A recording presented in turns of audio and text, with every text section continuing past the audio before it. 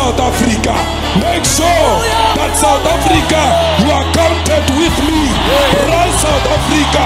Stand and make sure that our people understand that the need to bring revolution in South Africa is guaranteed that under the EFF, this country will be the better. EFF is a.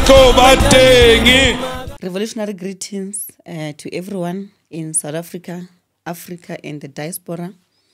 My name is Omphile Maotwe. I'm the Treasurer General of the Economic Freedom Fighters. We come to you from the EFF studios at uh, Winnie Madikizela Mandela House in Johannesburg. Today is a very special day. We are joined by one of our own, the Judge President, a revolutionary in his own right who really fought apartheid system. To this day, he's still fighting. Uh, we are joined by Judge Hlophe, the Judge President of the Western Cape. Judge, greetings to you. Thank you very much, TG, or shall I use your official title, Princess Maotwe? Thank you very much. I appreciate the invitation. I take nothing for granted. Thank you very much for having me in your studio. So let's start by talking about the uh, Judge Hlophe. Yes. Uh, born in Stanger in KZN, late in the late 50s. So just briefly tell us about how you grew up, especially in the apartheid South Africa. Thank you. I'll be very brief. I was born on the 19th of May 1959 uh, in a small town called KwaDukuza. It used to be called Stanger. It's north of Durban. And I grew up poor like most South Africans. And my parents were very poor, and my father was a security guard, and uh, he worked as a traditional healer as well. So be careful when you engage me. I might do something, some black magic one way or the other. And my mother never went to school. She worked as a domestic worker. Prior to that, she used to be a gardener. We grew up poor. And then, obvious, my first interaction with white people is when I worked as a farm laborer. I started working uh, weeding sugarcane fields at the age of 12. At the age of 12, I could carry 12 kilograms of fertilizer on my back. And I never looked back. We used to work very hard, even Christmas and public holidays. There were just no holidays, considering that there were no labor laws then. And of course, this is perhaps I'm moving a little bit ahead. And being exposed to such, to such working conditions, poor working conditions, it made me open up my mind. It opened up my mind, and then I started looking around me what was going on. The white gentleman I was working for was chairperson of the South African Sugar Association. Mm. He's late now. He was filthy rich. Uh, he even helped me in terms of uh, financing my education to a point where I finished my LLB degree. But indirectly, he also helped me because he opened up my mind. I was able to look around and see how he discriminated between different uh, race groups in terms of workers. He had an Indian foreman, and every other supervisor was Indian and Africans like me who were laborers. Accommodation for Africans who lived in the compound, it was just one room. Hmm. Indians had four or five room accommodation.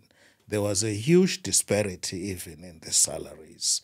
Right. My mother, for example, worked there. She was earning 11 rand 40 cents a week when she died in 1980, whereas hmm. Indians were earning far more that. Helped me in terms of understanding that there is discrimination in terms of how we are treated. Black people are really not taken seriously. There was discrimination. So that opened up my mind. my Could we say that's probably the reason that inspired you to pursue a legal um, uh, career, or what could have been the inspiration? TG, that was partly a reason it inspired me because I wanted to do something about it. I suddenly had a passion. I wanted to do something and I wanted to be better. Right. And also he used to, I must I've said this on so many occasions. One of his nephews used to come to the farm and I would wash his car. He happened to be a lawyer. I said to myself, one day I will look like that white man and drive my own car. And indeed, I succeeded.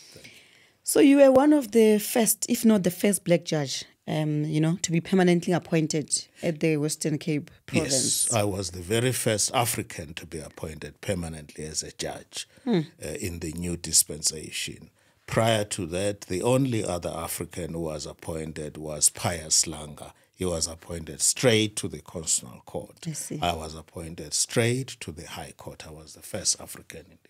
And how has your experience been? I'm knowing very well how racist that province is. It has been hell, to say the least. Uh, transformation, we all know, in the Western Cape is painfully very slow. And if you champion transformation, like I've done that for the past 29 years, you immediately become the enemy of the establishment. They don't want any changes in the Western Cape. Pol- uh, white politicians in the Western Cape, as you would know, uh, Princess Maotwe, they still refer to black people as uh, uh, immigrants Yeah. who come from the north, who are all South Africans, but in the eyes of a lot of uh, white politicians in the Western Cape, who are all foreigners because the Western Cape is meant for them. So it has been hell all the way, but I'm not going to stop fighting for that which is just and humane. Yo, um, do you believe your appointment um, to the court contributed to the transformation of South Africa's judiciary in one way or the other? I would like to believe yes, TJ, because immediately after I was appointed, I didn't rest. There were so many other people that I opened the way for them. It is no exaggeration that in the Western Cape, about 70% of the judges are black, right? I'm using the term black generically to Yeah. include Africans, to include Indians and coloreds. And the whites are, out of 33 judges, I think we have seven whites. So I have transformed the bench significantly in terms of race and gender, considering that a lot of people that I recruited to that bench subsequently left. A good example, Chief Justice Sandile Ngcobo, he started mm. his career in Cape Town. I recruited him to the bench. The current Deputy Chief Justice Mandisa Samaya started her career in the Western Cape. I recruited her. She served her acting stint under me. I was already the JP. So I believe I have done uh, reasonably enough, but it's never more than enough. Yeah. There's still room for improvement. But I tried my best to transform the division. So, would you say the progress you made in the Western Cape? Um, how do you compare it with other provinces? Has there been any significant progress, like the Western Cape, No, and the rest of the country? with respect to my colleagues, they know it. Where I excel, they don't even exist. I have done where I excel, they don't even exist. I have done so much transformation in the Western Cape, considering that a lot of judges who served there were subsequently released by me, so to say, to serve in other courts. And I've had so many initiatives. Quite frankly, there is no court which is transformed like the Western Cape, purely in terms of race and gender. Talking about the second element of transformation, which is the mind and the mindset, that's another issue, another debate for another day. So I believe I've done reasonably well in terms of transforming the court. I didn't just uh, rest on my laurels. I came in and I opened the doors for a lot of other black people who came after me. So, Judge, you've served the judiciary for over 25 years.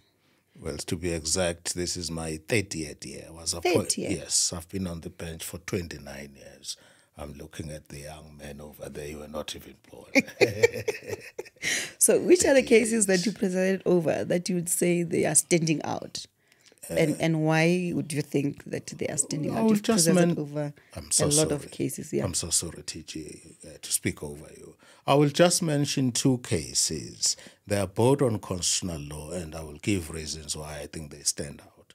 One case is called, um, uh, it had to do, uh, all right, let me start with the case which had to do with, there is an act called PI, Prevention of Illegal Evictions Act. Yeah. In terms of this act, there must be written and an effective notice given to the occupier before that occupier can be uh, evicted from the house which they are occupying unlawful. The section provides that it must be a written and effective notice. In the Cape Killarney matter, that's one judgment I'm boasting about. The respondents, that is, the people sought to be evicted, were Xhosa speaking people. The only language they were fluent in in this world, which is an, which is an official language, was in Xhosa. Yet the notices of eviction uh, were arrogantly sent to them in Afrikaans. So when I sat on the bench, I looked at this. Notices evicting people who are only fluent in isiXhosa, which is one of the 11 official languages, is sent to them in Afrikaans. Hmm. Then I asked counsel, is this an effective notice? Then I adjourned the court. After lunch, counsel was very good. He took exactly the point which I raised. Notice which is sent to you if, for hmm. example, you are speaking isiTswana and you don't understand any language other than your own official language, isiTswana, which is an official language. Notice must be sent to you in a language that you understand. There was an appeal. The appeal went nowhere. That judgment is being followed all over the world, and I'm very proud of it. Hmm. In other words, the law now, which I initiated in that matter, if notice is going to be given to someone Yeah. to be evicted, it must be given in the official language of that particular person. I'm Zulu, notice must be given to me in isiZulu. You speak uh, Setswana, notice will have to be given you in Setswana. That for me was a victory for the poor people, very small victory. The other one, it concerned African women. Uh, it's called Zozo, Z-O-Z-O. Here was an African woman who was being ill-treated by her husband in, uh, in the sense that each time she would take, it had to do with maintenance. Each time she would take off at work and uh, the, the husband uh, to go to court, there was a maintenance inquiry. So each time she goes there, there would be a story. The husband is not available. He was ducking and diving all the time. And this went on for about two years. So when the matter came to me, I asked one question to counsel. I said, There is a right to dignity. Here is this poor African woman. There is evidence that she has been going to the maintenance court for two years, and each time the husband keeps ducking and diving. Why can't his pension, right, be ring fenced and be kept for this poor woman? Right? Hmm. That was a groundbreaking judgment. You have your pension, Yeah. which is there, is being held by your employer, but then you are playing around, uh, avoiding your responsibility to pay maintenance. The law as it stands, which I developed, was your pension is going to be confiscated, it will be given to the wife as per the needs. That I regard as victory for women and especially poor uh, African women. There are many other cases, obviously, after almost 30 years on the bench. Yeah, let me just concentrate on, on the these two. No, that's a significant uh, progress, I must say, that you make. Thank you, So, Princess. uh, in the course of the journey that you've traveled, uh, there are times where you face legal matters yourself, Yes. against yourself. yes. Um, could you maybe enlighten us on one or two of them and what were the issues and how are you resolving them? Well, I think the, the issue that everybody knows, it has to do with uh, the long standing case against me relating to allegations against me that I tried improperly to influence judges in the Constitutional Court. That started in the year 2008. It is still going on even today because, as you know, I was suspended following that. But the interesting thing What do you mean you were suspended? Are you suspended? I'm still on suspension. You're still on suspension. Yes, I'm still on suspension. Perhaps allow me to, to, to elaborate on that. Yeah. I'll spend a minute or so. When this thing started in 2008, I went uh, on suspension. I took voluntary suspension. I, was off the bench for 18 months. I was cleared by the JSC on the 29th of September 2009. Then I went back and worked. Between September 2009 and last year, which was the uh, the 17th of December, sorry, the year before last, because I was suspended on the 17th of December 2022. Okay. So between 2009 and then, I've been working, doing my work. Nothing else has happened. So what happened after I was cleared? There came interlopers, that is the DA, uh, Freedom Under the Law under Justice Kriegler, the Democratic Alliance, and Helen Zille. They brought this thing back again and it started all over. They litigated. Helen Zille claimed that she is the Premier of the Western Cape. She did not participate. She did not sit on the judiciary based on that technicality and others. The thing started all over again. Now, when I was suspended by President Ramaphosa, uh, uh, it was clear to me that that was for political reasons, and I will tell you why I'm saying that. Yeah. Two reasons why I'm saying that. President Ramaphosa is a politician. He is the head of state. So whenever he takes a decision, it is a political, Political decision. decision. I number see. one. Number two, it is unconscionable, unheard of in any civilized world that a person can be suspended for two separate occasions in mm. respect of the same thing. Yeah. It doesn't happen anywhere in the world. It is clear to me he did not act lawfully, but he acted politically. He was bowing to some political pressure. Perhaps I can indicate that we challenged that. We brought an application to court. Even today, we have not been given a hearing in the in the uh, Gauteng court, which is headed by Dunstan Mlambo. And Parliament, is Parliament doing anything? Parliament wants to proceed and impeach me. They, uh, our position is very clear. There are, there are so many legal processes, there are so many cases that are going on. Any decision now to impeach me will be premature because it will be final. We can no longer deal with that. So there is no rush. I don't understand what they are rushing. So what happens if they go ahead with the impeachment process? What legal recourse do you have? Well, if they go ahead with that, we uh, we have brought an action against them. We've brought an application to stop them. Okay. We have done that. Papers were served the day before yesterday. We hope sanity is going to prevail because this is no, it's just a political thing. And why do you think you're being pursued like that, JP? Uh, as I said earlier on, in the Western Cape, uh, it is a it's a foreign land for black people, and if you go there, you you rock the boat. You are, you advocate transformation. You pioneer transformation. You are going to be the enemy of the establishment. There was a time that Helen Zille said people are immigrants um, Yes. if you come to the Western Cape. I'm sure she was referring to me and others. and how do you feel about that? Well, it's an insult. It's Yeah. worse to be told by a white person with respect. There is not a single African who's an immigrant in Africa. It's worse to be told by a white person that you're an immigrant in Africa. I see. It's an insult, to say the least. So we've we've talked a lot about you and what you've been through, where you come from, how you were brought up, what are the challenges you faced. Let's talk now about South Africa. What is your opinion of the state of South Africa, socially, economically, and and otherwise? What what is your opinion?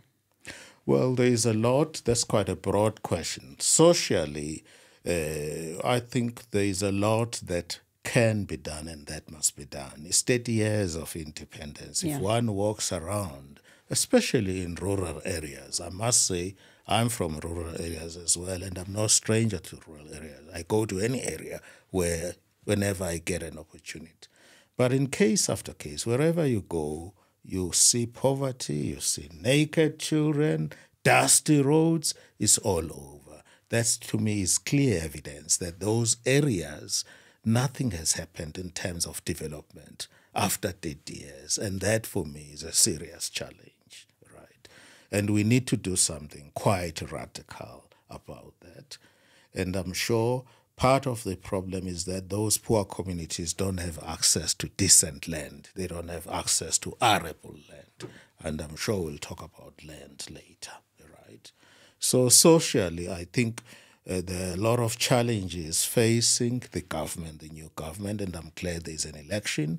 And I hope South Africans are not going to be fooled. They will realize that as far as socio-economic conditions, black people and Africans in particular are still far from being satisfied. There is still a long way to go. The list is endless. It ranges from unemployment, housing, socio uh, economic ills, violence in our communities. Part of the violence, of course, is linked to socio-economic conditions, crimes of violence. There are crazy crimes, right?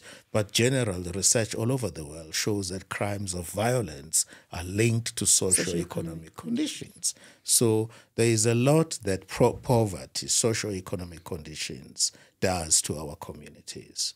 Right. So much about socio-economic conditions, and I think there is a lot that one can say, as I say, ranging from unemployment, housing, amenities. You still have uh, some of our clinics, for instance, healthcare facilities. You still have lots of communities where clinics would close at four o'clock during the day. You ask yourself if a woman were to give birth and have complications at five past four or at five o'clock and it's pouring rain, the road is not tarred, who will take care of that woman? Absolutely. I mean, we've seen reports of women giving birth That's right. just outside the clinics because Just the clinic outs- was open, was, was, out- was closed. Just outside. And and that's the kind of government that we have of the day. And are they doing anything about it in your view to change that status quo? Well, they are doing something. Let's give the government credit. They have done uh, quite a lot, but whether or not it is satisfactory, it's definitely not satisfactory. My view is clear. They should have done far more than what they have done. That is not to say they have done nothing. They have done something, but in 30 years, with all due respect, they should have done far more than what they have done, tenfold. Now, Judge um, Dr. Hlophe, you are known to be passionate about the issue of the land, which you spoke about earlier on. Yes. What's your view on the land um, as it stands here currently in South Africa? You've got the constitution right in front of you. Thank you. May I I'm sure you'll open. you may. I'm sure you'll open the constitution at some point to refer us to the clause in the constitution that speaks about the land and where we find ourselves in as a country and what do we need to do to change the status quo. Well, thank you very much, Princess Maotwe. That's a very important question. I'm very passionate about land. Fellow South Africans, I brought this constitution today because I believe the answer to land lies exactly in the constitution. Now, a lot of people are not legally trained. I'm going to explain something now. Allow me to do that. Yeah. A constitution is an act of parliament. The only difference between a constitution and other acts of parliament is that this is the supreme law of the land. Section 2 of the constitution says that. In other words, there is no other act of parliament. If that act conflicts with the constitution, the constitution will prevail. Hmm. It is the supreme law of the land, right? That's the first thing I want to say. Secondly, a constitution is an act of parliament. It was passed by parliament. Parliament. So when you interpret the constitution, it is interpreted in exactly the same way as you would interpret other acts. Whether it is the Criminal Procedure Act of 1977 or the Divorce Act, it doesn't matter. The principles of interpretation are exactly the same. Yeah. In other words, you do not, for argument's sake, say, all right, Section 26 of the Constitution deals with housing, and you just go to Section 26. You look at other provisions, including the preamble. Remember, there is no right which is absolute. For example, you have got the right not to be defamed by me, Yeah. right?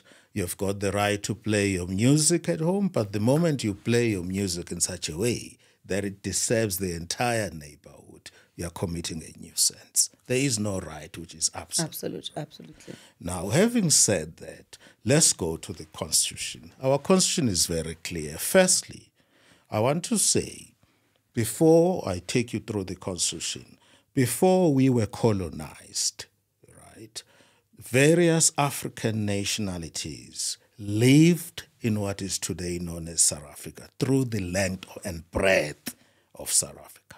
The evidence is conclusive. For example, in the Eastern Cape, we all know there were at least eight major wars that were fought by the people of the Eastern Cape resisting uh, infiltration by the foreigners, the, the, the settlers, right? So when that happened, whenever they went, we lost, and we lost the war. They confiscated the The land. yeah. So the strategy was fight with them. When they lose, you confiscate the land and push them and push them all the way back. For example, Zululand was annexed in 1879, hmm. right?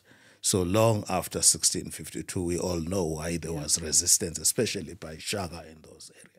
There is not a single part of South Africa that was handed over to European settlers. We fought for our land, right? Hmm. So that's the background I want to give you. Yeah. And then then came the constitution. Oh, sorry, just before the constitution. In 1909, the ANC was formed. Why it was formed? It was because, among other things, chief among other things, for forming the ANC was the question of land. Of the land. They mm. were excluded. Quite rightly, the ANC leader said, we are excluded were black people, less from the African National Congress. In 1959, the PAC was formed on the 6th of April. 11 months thereafter, uh, on the 21st of, April, of March 1960, it was the Sharpeville massacre. Underlying the formation of the PAC was the question of land. 1976 Soweto uprising. You will recall that the first accused was Zeph Mothopeng, who was the leader of the PAC. It just shows if in the 1976 uprisings, underlying that was the question of land. EFF. Yeah. EFF, you've just celebrated 10 years of existence. By the way, congratulations. You have done Thank an you. excellent job in the country, right? Why was EFF born? It was again the issue of land and transformation of the key sectors of, the the economy. economy. So I've given that long background. There is not a single South African who's fair minded who can disagree with that. Mm. These are facts. Mm. Then came the Constitution in 1994 against that background.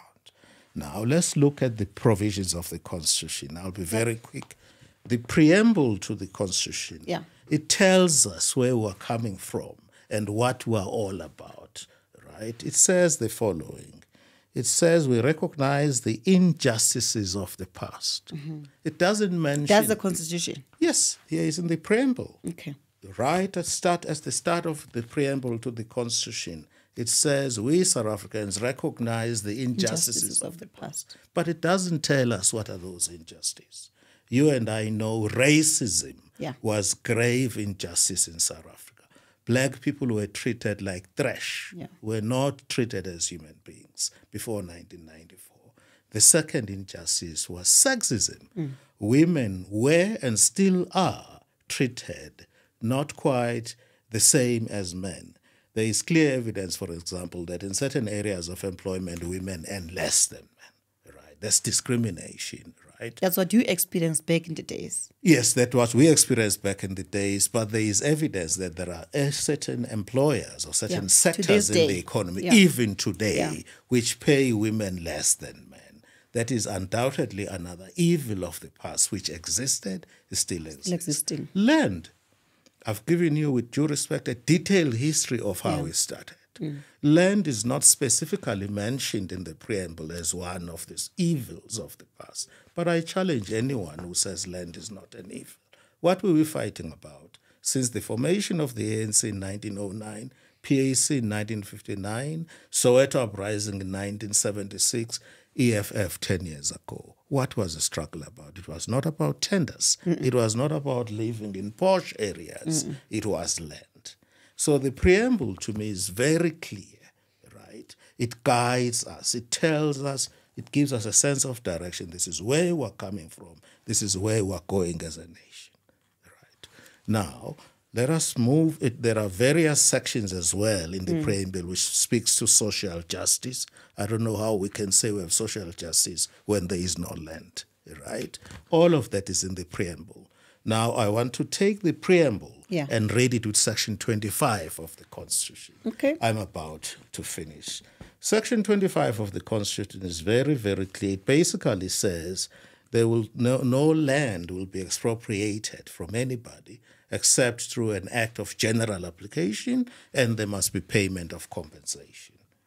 Now, That's the um, current constitution. Yes, here it is. And there must be, it goes on to spell it out how you pay compensation and so that you look at the history of the land, its use now, Yeah. how was it acquired, and the value of the land, and so on. I'm going to identify at least three categories of property to you now, which are lying there, which can be the subject of expropriation without compensation immediately. If a person is committing a crime in South Africa. For example, I have guns, lots of them. I'm a hunter, right? If I take any of my guns and shoot and kill you, the gun will be confiscated immediately, mm. Pending the duration of the trial. Upon being convicted, I will forfeit that gun to the state. I will never get it again. Hmm. Why is that not done in respect of The land. Section 300 of the Criminal Procedure Act provides that any property which is the proceed of crime may be forfeited. We have endless beatings of fellow African people on these farms. Some are killed, hmm. others are buried in shallow graves. There is not a single farm which has ever been confiscated. That falls squarely within the Constitution. It will be confiscated in the interest of the public. There is no need for compensation Yeah. because you have committed a crime. Crime. Doesn't happen? Don't ask me why. I'm not a prosecutor. Prosecutors, remember, are toeing the line by and large. That's what Batwe said. That That's number one. prosecutors must assist. Uh, That's right. That's just the first thing. Yeah. The second, I mean, nobody can quarrel with that. That is the law. It is there. Such, in other words, if you are a Mr. Shope or Mr. X or Van der Merwe, whatever the name is, and you're abusing your workers or you're committing crime, that property can be confiscated without much ado. You don't deserve any compensation. I will give you a second category of property. When you look at Section 25, it gives you a lot of, it gives indications of, of what are the things that we look at, the history of acquisition. I thought that's very exciting. yeah. When, uh, during the Second World War, when the Second World War ended, uh, the, the colonels, those who were in charge in the army, were rewarded handsomely. They were given land, whereas our fathers were given bicycles and torches.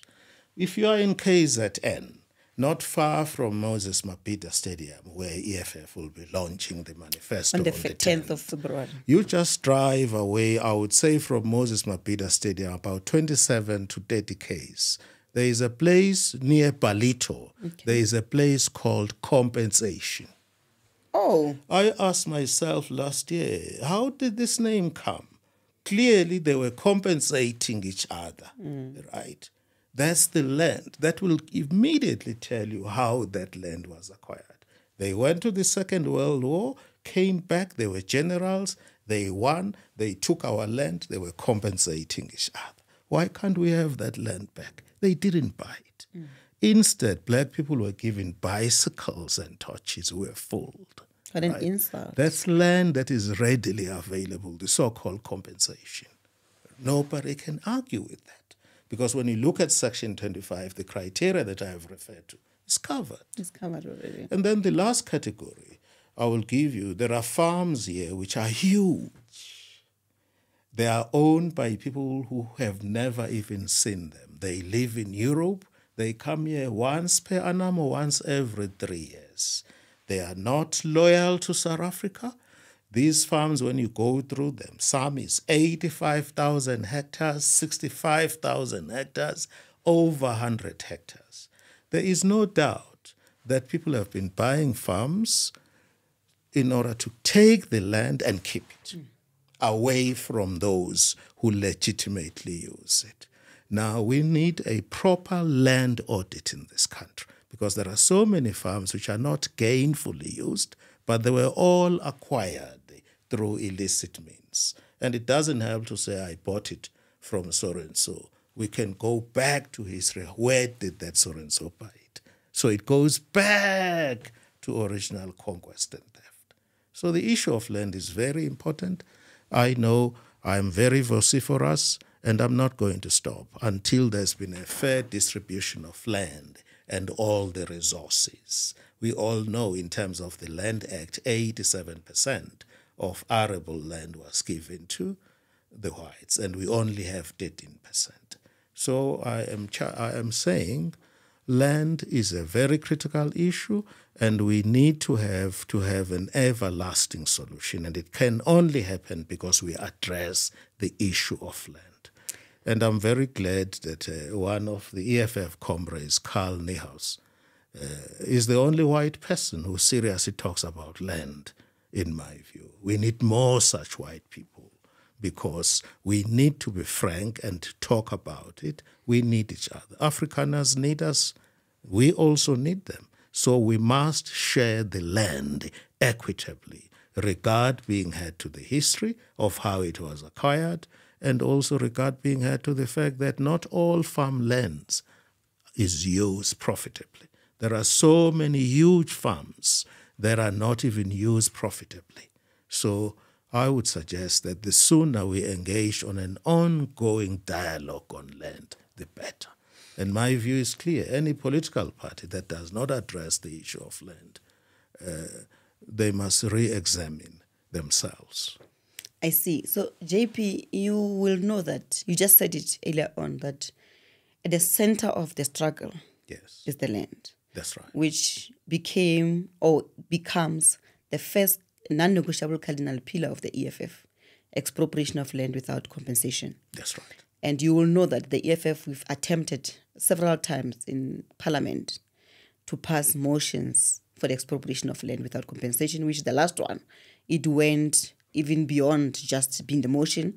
It went to through the country, through um, public hearings that confirmed what we actually stand for and agree with you and me that we need to expropriate land without compensation.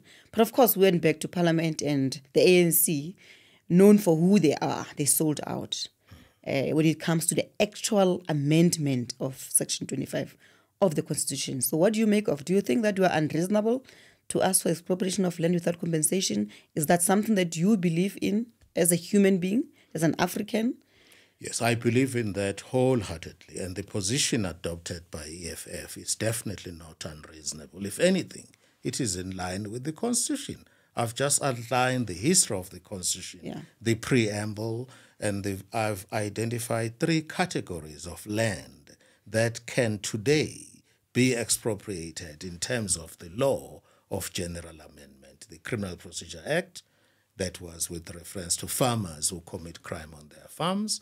I've also made reference to compensation, how that land was acquired. All of that falls within the Act. To the extent that some might think that is not good enough, then there might be a need to amend Section 25. But I come from the school of thought that Section 25, as it stands, is okay, we can work with it right? So you don't need, in my view, to amend the constitution, but obviously we would need a specific act of parliament to deal with such expropriations if, uh, if necessary. But I wholly endorse that position. It falls within the constitution. And and, And sorry, EFF is not advocating violence to the No, best of my knowledge. Yeah. So I would support any constitutional means in terms of which we will get our land back. And the position of EFF, which is expropriation without compensation, is entirely justified. we- we're not um, um, um, promoting violence. That's why we went back to the same parliament That's that right. passed that law Yes. to say we, we see that there's an injustice here, there's a shortage, a, a shortfall somewhere, and therefore let's amend the constitution to cater for expropriation of land without compensation. Now, uh, JP, uh, people will come and say, but what are you going to do with the land? Uh, such questions. How do they evoke your emotions, and how would you respond to such questions? Well, I've often seen that on social media. There is a young lady, I think, concerned citizen. She talks quite a lot about land. And I listened to her once, and uh, what put me off was the Model C accent. You know, you can see this is a young South African who basically uh, doesn't know much about politics, right? My sister, can I, uh, sorry, Princess Maotwe, may I ask you this TG. question? Can I ask you, TG, the following question? If I steal your, your computer right now and keep it to myself, can it be open to me that no, no, no, you don't need this computer, you're not doing anything about it? It can never justify theft. Can never. Yes. So those fellow South Africans, especially young black people, who say we can't use land are misdirected. I mean, I can assure you one thing. A lot of people, myself, I have a small holding, if I may talk about it very Yeah, briefly. you may. a small holding, in my small holding, is only 11 hectares. I don't need anything bigger than that. But I don't buy anything. The only thing I buy is toilet paper and toothpaste. So you produce everything, Everything, ranging from bees, my own fish. I've got fresh feed in a dam. I've got uh, sheep. I've got chickens. I reprocess everything. I don't buy fertilizer. That's enough to feed me and the family. In other words, the concept of small holding or subsistence farming. That's what our grand great grandfathers used Just to to do, yeah.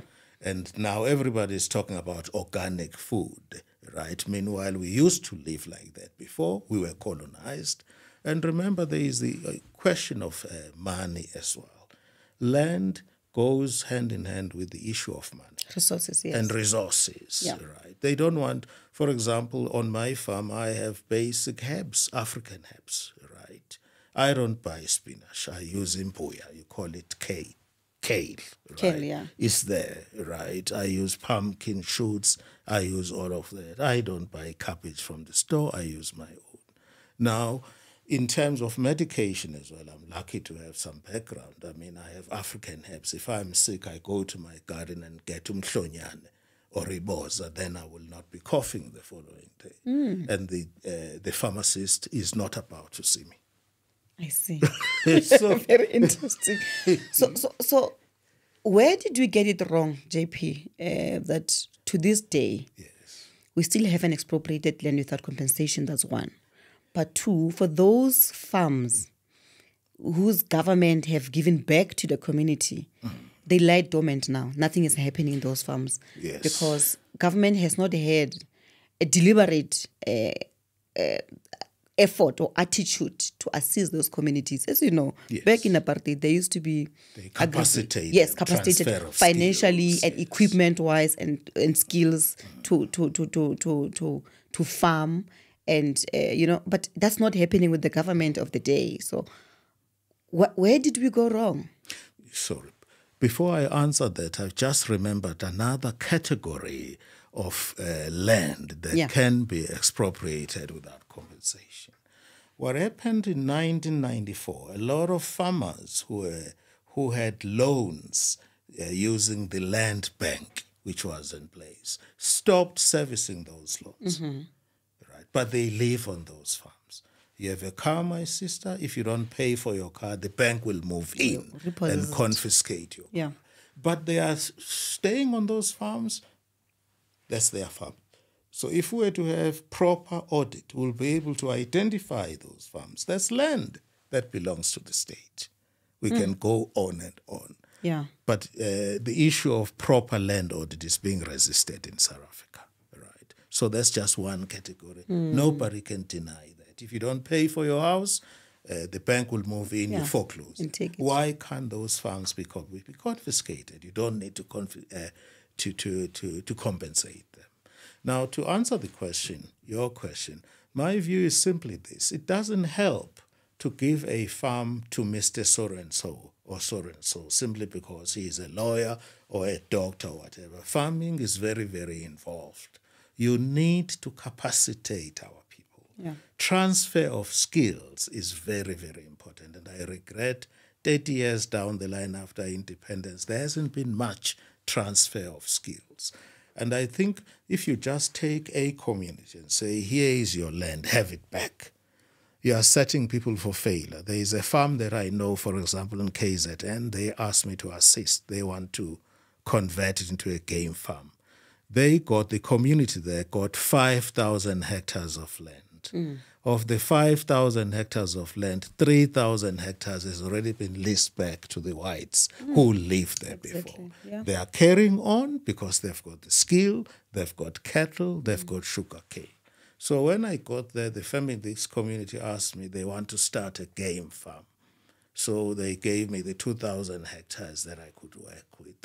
But obviously, I don't want to go much into those details. It was very clear to me that they were set up for failure. And I ended up asking them questions. Why are you leasing back these sugarcane farms back to whites? Their answer was, What are we going to do? We don't have the capacity. They have the skill, they have the money, they have the know how. So, my view is this it's not helpful to give the land back to various communities without capacitating those communities, without the transfer of skill. I'm just using farming Yeah. as an example. Mining gets more complicated, right? And remember, every African is a farmer. There's Yeah. no question about it. Absolutely. We all know how to farm. We all have hoes. We know. The only difference is that the white man uses more science. It's more scientific. Mm. Right? It's like hunting. You use a, a gun now instead of using spears and dogs. But the fundamental principles are exactly the The same. same. That's right. JP, we can talk the whole day about land. It's something that you're very passionate about. I know that for a Thank fact. So we, as the EFF, our second um, non-negotiable cardinal pillar is nationalization of mines, banks, and other strategic sectors of the economy. Earlier on, I, sp- I asked you about the state of affairs economically in the country, and you explained how we are in a bad financial situation in South Africa. Would you think that pursuing nationalization of mines, bank and, uh, banks, and other strategic sectors of the economy will turn things around? Is that something that you would support? Yes, I would support that. And I'm not the only one. There are many people who support that. And let's go back to history. Afrikaners are where they are. They nationalize everything when Yeah. they got into power. Right? There's not a single Afrikaner who had no job. There were many of them who were not very well educated. And we can still see even evidence of that even today. They found work for them, they built low cost houses for them near the railway stations. Right. So nationalization. Transnet did a lot of building right. those houses for white people. Yes. That today they can't build for black people. That's right. So basically, I'm saying nationalization of the key sectors of the economy. Mm. There is no question about it. It is the way to go. I would support that. I would endorse that. And interestingly, that's where the ANC started. Yeah. And we spoke about land bank earlier on and why people who are owing land bank, the state is not taking over the, the farms and whatnot. Would you support the move for a state owned bank? I haven't given it a thought, but based purely on the analogy of a land bank, it has existed before and Yeah. produced desired consequences. The land bank was a state owned bank. That's my understanding. Yeah. There may have been a couple of other shareholders, but in the main, it was owned by the state and it financed various projects and farming operations of the Afrikaners in mm-hmm. particular. So I would support that. And quite frankly, anything that will bring back the dignity of the black people in this country. And I do believe having a, a national bank which will finance farming operations of black people, uh, farming, acquisition of farms, and transfer of skills, particularly to black people. I think that institution is overdue. Yes, I would support that. So let's talk about state capacity. Um, is it worthwhile to pursue the capacitation of the state so that the state is able to produce and the people who live in the state consume what has been produced by the state? And will that then lead to employment being created? And I mean, we've got um, state companies that used to be state companies like Yes. ISCOR who were employing a lot of people and um, now it's privatized and all that. So would you do you believe in a building state capacity? Uh, I mean, earlier on you spoke about yourself, how you yourself you are um, um, um, taking care of yourself without buying anything outside. Would you think it's something that the state really need to work hard on to to to pursue? Yes, definitely. The state needs to capacitate itself, and there are various ways of doing that. One is to improve the, the, the, the capacity. The, the economy must grow, right? But I don't think the state on its own can capacitate itself. You need, obviously, partnership with the private sector and us, citizens of this country, right, including unions. But you cannot have a government that will be able to deliver right, all its promises if that government itself has not been capacitated in terms of having money. But I think, unfortunately, we've been borrowing a lot of money in this country of late. And uh, the problem with debts is that you are stuck in a cycle of debts. It becomes very, very difficult. But South Africa, if we were to share all the resources that we have as a country, there is more than enough to feed all of us. The problem is greed, and wealth is concentrated in the hands of very few but filthy rich individuals. Uh, in the main, they are white, but we're getting a lot of filthy rich black people who should lead by example, uplift the communities where we come from. Some of these rich individuals don't even go to their rural areas just to spend quality time with people in the village and drive their expensive cars on those dusty roads where you and I go. I see. So, linked to building state capacity, which would ordinarily lead to employment. Yes, right. Generation. Generation of, employment. of employment. We're sitting here with a government, or rather a state president, who says it's not the duty of government to create jobs, but that of the private sector. What's your view on that statement? Well, I'm not here to criticize him, but uh, there is something called freedom of speech, which I'm exercising. Quite frankly, I do not agree with that. And I've just given an example. Our own government, when mm. it was controlled and owned by the Afrikaners, they capacitated themselves. There's nothing wrong with that. And that I understood to be the policy of the ANC when it started. Yeah when the ANC started, certainly in 1994, I remember the very first speech that Mandela gave. He spoke with reference to nationalization. He was at the Grand Parade in Cape Town, but within weeks thereafter, he had abandoned that. He spoke about something else other than nationalization. So uh, I certainly think there, with due respect, the president is wrong. Right? There is no doubt about that. The state, the primary responsibility falls upon the state to feed uh, its own citizens. The state alone cannot do that without the assistance and the help of the private sector, who are going to plow in a lot of money. And obviously, individual citizens of the country have to be responsible as well, not destroy the infrastructure which has been provided. I see. So I disagree with the president in that regard. Respectfully. Respectfully, he's wrong. JP, as we wrap up our conversation, we're heading to the 2024 provincial and national elections. What would you like to say to the people of South Africa? What should they be on the lookout for when you go to the polls? Maybe let me answer that question as follows. This is what I'm going to look out for. Yeah. I'm going to look out at the following things the history of the party that I'm going to vote for. Are we being fooled again, right? Or is this party capable of delivering on its promises, right? You look at the history of the party, that's number one. Number two, there are a number of socio-economic issues, some of which is health, right? We need to have healthy citizens. Education is a constitutional right that's very, very important right?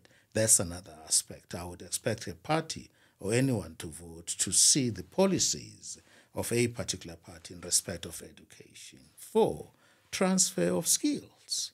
What is that particular party or any party saying with regard to transfer of skills, especially given that we have this skewed thing in South Africa where the whites in the main have all the skill ranging from uh, mathematics to farming and black people generally have no skill. So we need good citizens to come and assist and transfer skills, and black people as well who have skills. So I would want to see what is this party saying with regard to transfer of skills, but most importantly, transfer of the key sectors of the economy. I'm talking about mining, right?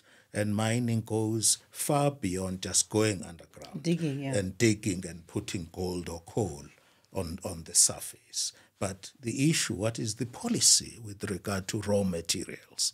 Are we going to be a producer of raw materials for another 600 years in Africa? I would like to see beneficiation, beneficiation as well?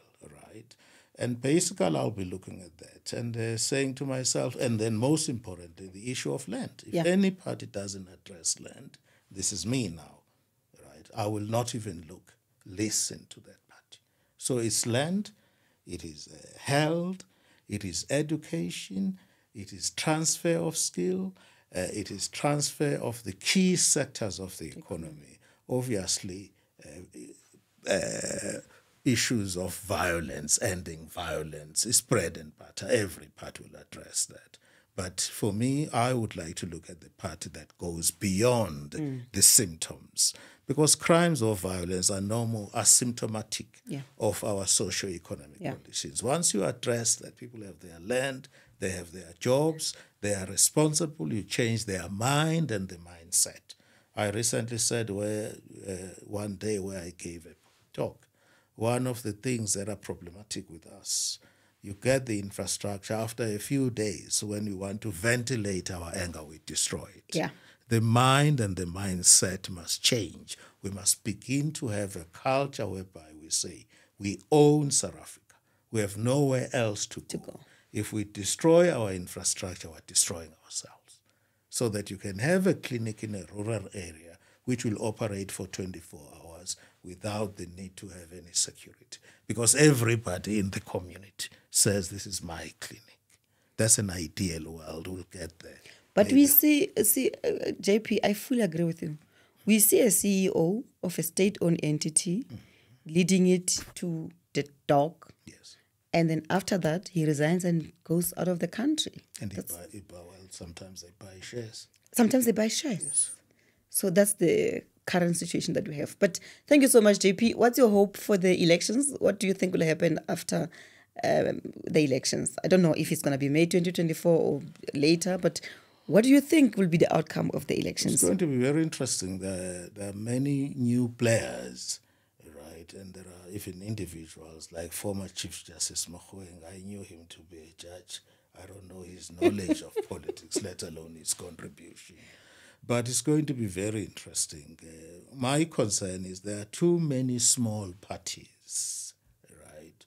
And there are just too many. They won't have much of an impact at the end of the day. Those small parties should seriously consider working with larger parties, especially where there is agreement on the core issues that the electorate should be looking for. But I do think in uh, South African politics there is a lot of pride in some of our leaders. How, why should you be happy to be the only member of parliament? Yeah. So pride at times, but obviously there are parties, I'm not ridiculing them. There are parties which are playing a very important role and you need them. PAC is an outstanding example. Sadly, there is only one MP of the PAC to the best of my knowledge, but you can never wish the PAC alone because the message that the PAC stands for, which is undoubtedly the same message that EFF is standing for, is important. Yeah.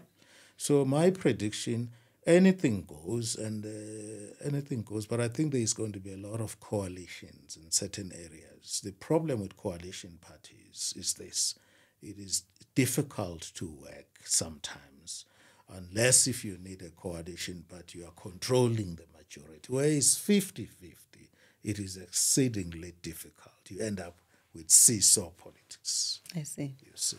But I predict there will be lots of coalitions, and it is my hope that South Africans are going to go out there in large numbers and vote. Firstly, they must go to register to vote. Yeah. That's important. On the 3rd and 4th of February. Third and fourth of February, everybody must go to vote, and voting is not done on social media. You don't win the election on social, social media. media, absolutely. So I would encourage all voters to go and vote according to their conscience. Firstly, register to vote and then vote, and then bring about the kind of desired changes that you want to bring about. Come on, JP. 3 4 is register to vote. Yes. 10th Feb is manifesto of the EFF. Yes. We would like you to, uh, you know, encourage young people to come to the manifesto of the EFF, young and old. So I would encourage anybody to attend the political manifestos, be it that of the EFF, be it of the ANC. I would encourage anybody. Of course, I'm still the serving judge. I don't want to go to the Judicial Service Commission. They will soon be saying there is Hlophe again. He's betting for the EFF, as if nobody should bet for the EFF. Okay, thank you so much, JP. Uh, we really thank you for coming, taking your time out, um, coming to share your knowledge with us. We were taking notes as you're speaking. You've got rich knowledge that you impacted on us. We want to really thank you. Thank you very much, uh, Princess Maotwe. I take nothing for granted, and thank you very much for inviting me. And uh, all the best with the election. We can share the EFF water. We can share the F Cheers. and then cheers, and then give my revolutionary greetings to the CIC. Will do. You can tell him I've taken over his headquarters. he's, he's not here. It's a coup. Thank you so much, JP. Thank you for coming Thank through. you very much. Thank Okay. you. Thank you so much to the people of South Africa, Africa, and the diaspora for watching. We've come to the end of our episode from the EFF podcast that was taken at Winnie Madikizela Mandela House in Johannesburg, South Africa. We want to encourage young and old people to come out in your numbers on the 3rd and 4th of February to flock the voting stations in your numbers to check your registration status, but equally to register to vote. Victory starts at the registration point. And of course, on the 10th of February 2024, the Commander in Chief and President of the EFF will be delivering the manifesto of the EFF. We encourage everyone to come out in your numbers to join us at Moses Mabhida Stadium, Durban, in KwaZulu Natal, where the president, the incoming president of South Africa, Julius Malema, will be delivering the commitments of the EFF to the people of South Africa. Re a. Stand up, South Africa. Make sure that South Africa, you are counted with me. Run, South Africa. Stand and make sure that our people understand that the need to be revolution in South Africa is guaranteed. That under the EFF, this country will be the better. EFF is a Toba